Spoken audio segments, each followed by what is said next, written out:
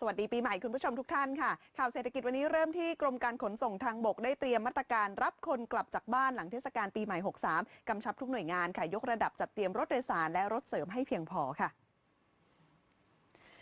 นายจิรุธวิสารจิต อธิบดีกรมการขนส่งทางบก เผยว่าในช่วงที่ประชาชนเริ่มทยอยเดินทางกลับหลังสิ้นสุดเทศกาลปีใหม่ กรมการขนส่งทางบกกำชับให้ทุกหน่วยงานเตรียมความพร้อมอำนวยความสะดวก และดูแลความปลอดภัยในการเดินทางค่ะ ระหว่างวันที่ 4 ถึง 6 มกราคม 63 กรมการขนส่งทางบก ได้เตรียมพื้นที่ไว้รองรับผู้โดยสารของบริษัท ขนส่งจำกัดหรือบขส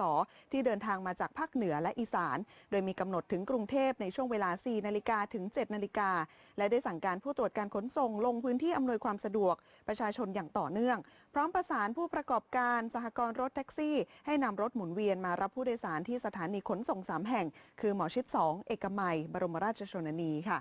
รวมทั้งประสานขอความร่วมมือผู้ประกอบการขนส่งด้วยรถบรรทุก หลีกเลี่ยงการขนส่งสินค้าเป็นการชั่วคราว เท่าที่จำเป็นไปจนถึงวันที่ 5 มกราคม เพื่อให้การบริหารจัดการจราจรมีความคล่องตัวมากยิ่งขึ้น